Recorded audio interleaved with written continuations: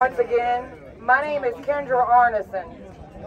If y'all could be quiet for just a minute, I really worked hard on this. I've been working real hard doing a lot of research for a very long time. I put something together for y'all. I normally don't write speeches. I normally just shoot for the hip.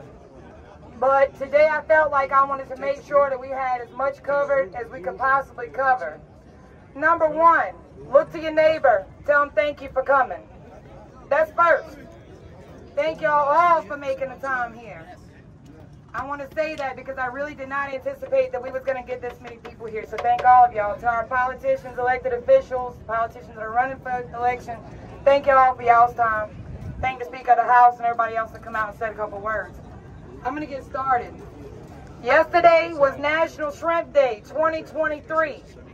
I saw a post on Facebook giving mention to such, but no mention that the majority of our fleet is tied up.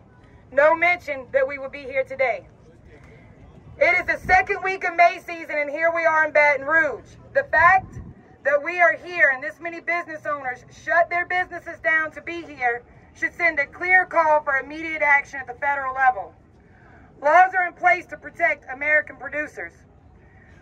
We are, where are the protections for coastal communities? In the last 20 years, the amount of shrimp imported into this nation have tripled.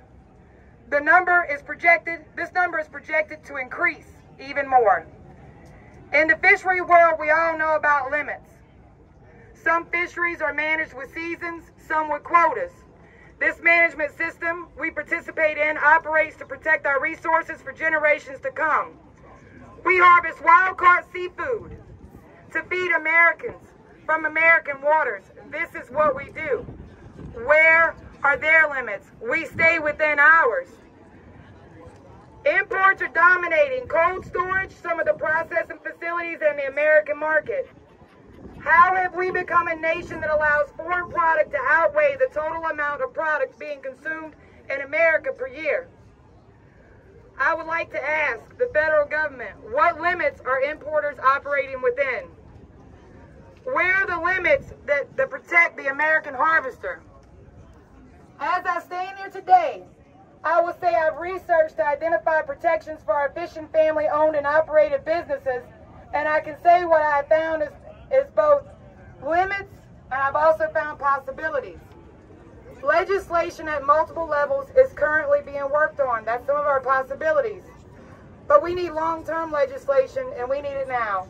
Long-term legislation that protects the percentage of the American market that we supply all fisheries, all species. Imports are not unique to shrimp. But legislation takes time. We have boats, gear, and the knowledge to feed our nation, but what we don't have is time. So I am personally calling on the Department of Commerce and the National Marine Fisheries Service to take immediate action. I'm calling these agencies to implement all measures available to them. In management, we hear a lot about food security, and sustaining the fisheries. What we don't hear a lot about is protecting America's fishermen. We are the access to this wild-caught resource.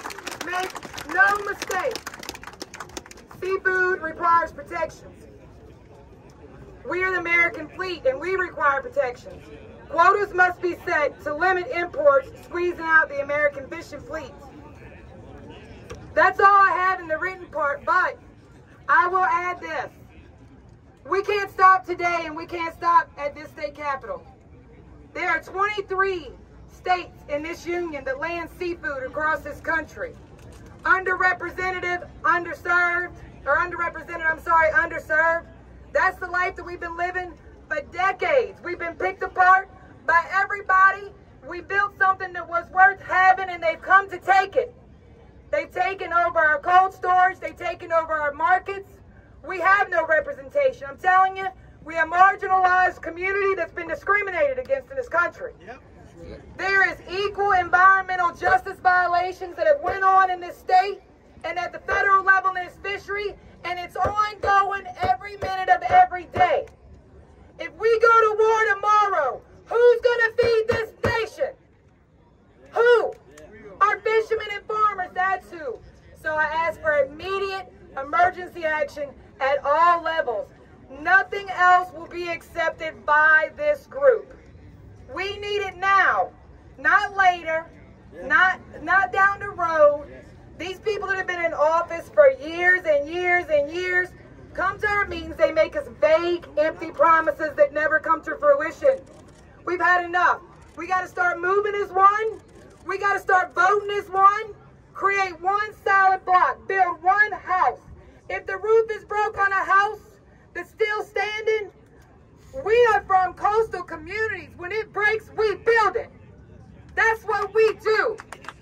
Yeah. We need everybody.